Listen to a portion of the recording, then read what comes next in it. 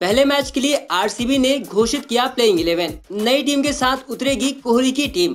नमस्कार दोस्तों, स्वागत है आपका दवी टीवी के एक और नए वीडियो में। दोस्तों, जैसे कि आईपीएल की तारीख अब आ चुकी है। 9 अप्रैल से पहला मुकाबला। रोहित शर्मा की मुंबई इंडियंस और विराट कोहली की रॉयल चैलेंजर्स बैंगलोर के बीच खेला जाएगा। तो ऐसे में दोस्तों, आरसीबी ने अपने पहले मैच के लिए प्लेइंग इलेवन घोषित कर दी है। दोस्तों, आपको बता दें, पिछले सीज़न के मुकाबले ऐसी इस बार आरसीबी एक नई टीम के साथ उतर रही है, क्योंकि उन्होंने अभी हाल ही में हुए ऑक्शन में कई बड़े खिलाड़ियों को महँगे दामों में खरीदे हैं। तो ऐसे में हम आपको 9 अप्रैल से होने वाले पहले मुकाबले के लिए आरसीबी की पूरी प्लेइंग इलेवन के बारे में डिटेल से बताएँगे। वही दोस्तों आईपीएल से जुड़ी और भी बड़ी बड़ी खबर इस वक्त निकल कर आ रही है। उस खबर के बारे में भी हम आपको इस वीडियो में बताएँगे, जिसमें दूसरी खबर ये होगी आईपीएल की तारीखों का ऐलान होते ही चेन्नई सुपर किंग्स को लगा बड़ा झटका। धोनी की प्लानिंग पर पानी फिरा। जी हाँ दोस्तों, आखिर सीएसके को क्या बड़ा झटका अचानक लगा है? जिसकी वजह से धोनी को अपने प्लेइंग इलेवन बनाने में दिक्कत आ रही है। इस खबर के बारे में भी बात करेंगे पूरी डिटेल से। वही तीसरी खबर को जानना आपके लिए ज़रूरी है। अगर आप आईपीएल के फ़ैन हैं और आईपीएल देखना पसंद करते हैं तो इस खबर को भी ज़रूर देखिएगा। तो तीसरी खबर ये होगी, इस सीज़न आईपीएल में फ़ैन को दिखेंगे ये पाँच सबसे बड़े बदलाव। जी हाँ दोस्तों, इस बार आईपीएल में पाँच बड़े बदलाव किए गए हैं। तो इस बदलाव के बारे में भी हम आपको इसी वीडियो में बताएँगे। तो दोस्तों, इन तीनों ही खबरों को विस्तार से जानने के लिए हमारे साथ अंत तक बने रहिएगा। वहीं अगर आप सी को एक खतरनाक टीम मानते हो तो इस वीडियो को लाइक करना नहीं भूलिएगा। तो चलिए आपका ज़्यादा समय न लेते हुए इस वीडियो को शुरू करते हैं। दोस्तों बीसीसीआई ने रविवार को आईपीएल 2021 का शेड्यूल जारी कर दिया है। इस बार आईपीएल भारत में ही होगा, जबकि पिछली बार कोरोना की वजह से लीग का आयोजन यूएई में हुआ था। आईपीएल का आगाज़ 9 अप्रैल को चेन्नई में होगा, जहाँ डिफेंडिंग चैंपियन मुंबई इंडियंस का रॉयल चैलेंजर्स बेंगलुरु से सामना होगा। दोस्तों, भले ही आईपीएल इस बार भारत में हो रही है, लेकिन कोरोना की वजह से कई बदलाव भी हुए हैं। जैसे इस बार फाइनल समेत सभी 60 मैच छह शहरों में ही खेले जाएँगे। इससे अहमदाबाद, बेंगलुरु, चेन्नई, दिल्ली, मुंबई और कोलकाता शामिल है। लीग स्टेज के छप्पन में से 40 मैच चेन्नई, मुंबई, कोलकाता और बेंगलुरु में खेले जाएँगे, जबकि बाकी 16 में से 8-8 मैच दिल्ली और अहमदाबाद में होंगे। वहीं फाइनल और प्ले ऑफ़ भी अहमदाबाद के नए बने नरेंद्र मोदी स्टेडियम में खेला जाएगा। दोस्तों आईपीएल के इतिहास में पहली बार ऐसा होगा जब कोई भी टीम अपने घर में मैच नहीं खेलेगी। सभी मुकाबले न्यूट्रल वेन्यू पर होंगे।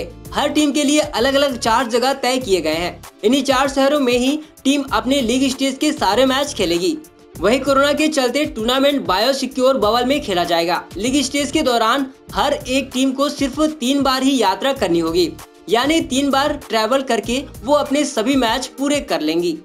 कोरोना वायरस के चलते लीग के शुरुआती स्टेज में दर्शकों की स्टेडियम में एंट्री नहीं होगी। अगर बाद में कोरोना की स्थिति में सुधार हुआ तो सरकार के साथ बैठक करके बीसीसीआई फैंस को स्टेडियम में आने देने पर विचार करेगी। वैसे पिछले साल यूएई में भी बिना दर्शक, यूएई में भी बिना दर्शकों के ही आईपीएल मैच कराए गए थे। हालाँकि भारत और इंग्लैंड के बीच टेस्ट सीरीज़ के दौरान स्टेडियम में 50 फ़ीसदी दर्शकों को आने की अनुमति दी गई थी। लेकिन 25 मार्च से दोनों देशों के बीच पुणे में होने वाले वनडे सीरीज़ में फैंस नहीं होंगे। वही दोस्तों, इस बार 11 डबल हेडर यानी एक दिन में दो मैच खेले जाएँगे। छह टीमें दोपहर में तीन तीन और बाकी दो टीमें दो दो मैच खेलेगी। दोपहर के मैच साढ़े तीन बजे से खेले जाएँगे और शाम के मुकाबले साढ़े सात बजे से शुरू होंगे। दिल्ली कैपिटल्स और चेन्नई सुपर किंग्स को डबल हेडर के तहत दो दो मैच दोपहर में खेलने हैं। इसके अलावा Royal Challengers Bangalore, Rajasthan Royal Punjab King Sunrisers Hyderabad, Mumbai Indians और कोलकाता नाइट राइडर्स को तीन तीन मैच दोपहर में खेलने हैं। टूर्नामेंट का पहला डबल हेडर 18 अप्रैल को होगा। वहीं इस लीग का पहला मैच रॉयल चैलेंजर्स बेंगलुरु और कोलकाता नाइट राइडर्स के बीच खेला जाएगा, जबकि दूसरे मुकाबले में दिल्ली कैपिटल्स और पंजाब किंग्स आमने सामने होगी। वहीं दोस्तों, पहले मुकाबले के लिए आरसीबी अपनी प्लेइंग इलेवन घोषित कर दी है। पिछले साल आईपीएल में रॉयल चैलेंजर्स बैंगलोर ने खराब प्रदर्शन का अंत करते हुए प्ले में प्रवेश किया था। हालाँकि एलिमिनेटर मुकाबले में उसे सनराइजर्स हैदराबाद के हाथों हार का सामना करना पड़ा था। विराट कोहली के नेतृत्व में आरसीबी टीम ने लगातार चार मुकाबले हारने के बाद भी प्ले ऑफ़ में कदम रखा था। आरसीबी ने आईपीएल 2020 में अपने अभियान की शुरुआत सनराइजर्स हैदराबाद पर 10 रन की जीत के साथ की थी। कुल मिलाकर देखें तो पिछले सीज़न में आरसीबी का परफॉर्मेंस मिला जुला कर ही रहा था। अब 9 अप्रैल से आईपीएल के चौदहवें सीज़न का आगाज़ हो रहा है। रॉयल चैलेंजर्स बैंगलोर ने अब तक कभी आईपीएल खिताब नहीं जीता है। ऐसे में विराट कोहली और टीम की कोशिश होगी कि वह आईपीएल 2021 में इस सूखे को खत्म करे। इस साल फ्रेंचाइजी ने 10 खिलाड़ियों को रिलीज़ किया और 8 नए खिलाड़ी खरीदे। उन्होंने सबसे ज़्यादा रुपए ऑलराउंडर ग्लैन मैक्सवेल और काइल जेमिसन पर खर्च किए। जहाँ मैक्सवेल को 14 करोड़ 25 लाख में खरीदा है तो वहीं काइल जेमिसन को 15 करोड़ रुपए में खरीदकर सभी को चौंका दिया है। वहीं आठ खिलाड़ियों के टीम में शामिल किए जाने से उनकी योजना में भी बड़ा बदलाव दिखाई देगा। आइए एक नज़र डालते हैं इस साल आरसीबी की मज़बूत प्लेइंग इलेवन पर। दोस्तों ओपनरों के द्वारा औसत प्रदर्शन आरसीबी की हार का एक बड़ा कारण है। 2021 में वे उम्मीद करेंगे कि इस कमी को दूर किया जा सके। टी में ऑस्ट्रेलिया के लिए ओपनिंग करते समय ग्लैन मैक्सवेल ने शतक बनाया था। लिहाजा इस पद के प्रबल दावेदार हैं मैक्सवेल। टीम के पास एबिडिविलियर्स बेस्ट फिनिशर है। पिछले साल मध्य क्रम में खेलते हुए मैक्सवेल ने तेरह मैचों में 108 रन बनाए थे। वह एक भी छक्का नहीं लगा पाए, जबकि देवदत्त पेडिकल ने चार सौ तिहत्तर रन बनाए। तो इस बार मैक्सवेल और देवदत्त पेडिकल आरसीबी की पारी की शुरुआत करेंगे। वहीं विराट कोहली ने पारी की शुरुआत भी की है, लेकिन इस साल वह नंबर तीन पर ही बल्लेबाजी करेंगे। 2020 में उनकी ओपनर की भूमिका सार्थक नहीं रही।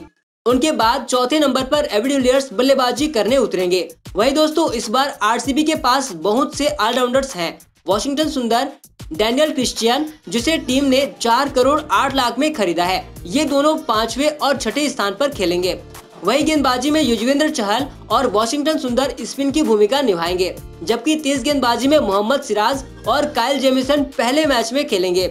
तो दोस्तों, आप कमेंट करके बताएँ, आपको आरसीबी की टीम कैसी लगी? वही दोस्तों, आईपीएल का ऐलान होते ही चेन्नई सुपर किंग्स को बड़ा झटका लगा है।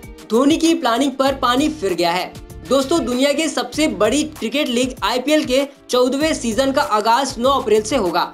रविवार को बीसीसीआई ने इसके शेड्यूल का ऐलान किया। आईपीएल के शेड्यूल की सबसे बड़ी और अहम बात यह है कि इस बार सभी टीमें दूसरे जगहों पर अपनी मैच खेलेगी।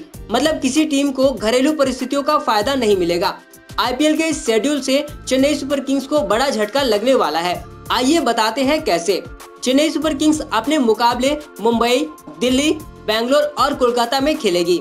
मतलब चेन्नई ने 14 में से 10 मैच उन जगहों पर खेलने हैं जहाँ स्पिन गेंदबाजों की एक नहीं चलती।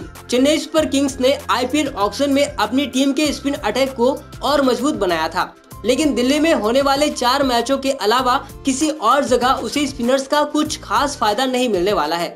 मुंबई के वानखेड़े स्टेडियम, बेंगलुरु के चिन्ना स्वामी और कोलकाता के इंडियन गार्डन्स के पीछे स्पिनर्स के लिए इतनी मददगार नहीं है। साथ में ग्राउंड भी छोटे हैं, जिससे धोनी एंड कंपनी को बड़ा झटका लग सकता है। चेन्नई ने इस बार हुए ऑक्शन में मोइन अली, कृष्णप्पा गौतम के तौर पर दो अहम स्पिनर्स खरीदे हैं। अब आईपीएल शेड्यूल के ऐलान के बाद धोनी इनका इस्तेमाल कैसे करेंगे, ये देखने वाली बात होगी।